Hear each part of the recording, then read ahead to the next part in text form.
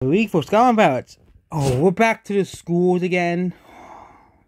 I don't know what's with these people, and the weeks are all being about schools, okay?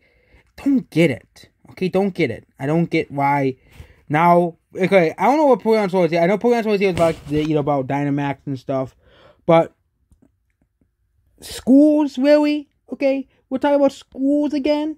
Okay, this is out of ideas here. Okay, at the start of the game, you get to enter the school. Yep, that's the whole part of the game. You become a part of a school. Okay, and you had Pokemon games where you went to schools, or Pokemon Express where you went to a school, but eventually you left the school.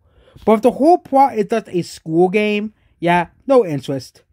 Okay, your friend is called Francesco, your wife is called Canna. New professor will be your school principal, Stefan. Her vice is Aiko, and she's very into statistics and calculus. Reason is very bad, so I recall the flower. I don't remember the name. There were seven sim readers as well.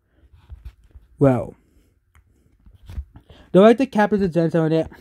Why? Why do we have exams instead of Pokemon battles? Okay, I it was an actual fight at the end of the exam. But why is why do no one wants to take a fucking test in Pokemon? Okay? People want to battle. Not do exams. Okay, Vote wasn't always evil, blah blah blah blah blah.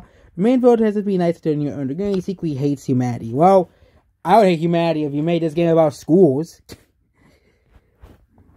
Twelve hours like guess super meal, blah blah blah. News visual forms and new trailer at the end of the month. Nothing, no information. Yeah. No, doesn't mention anything about the box that legendaries orange school scout. What's it in and he already effed up. Yeah, this week is fake. Goodbye.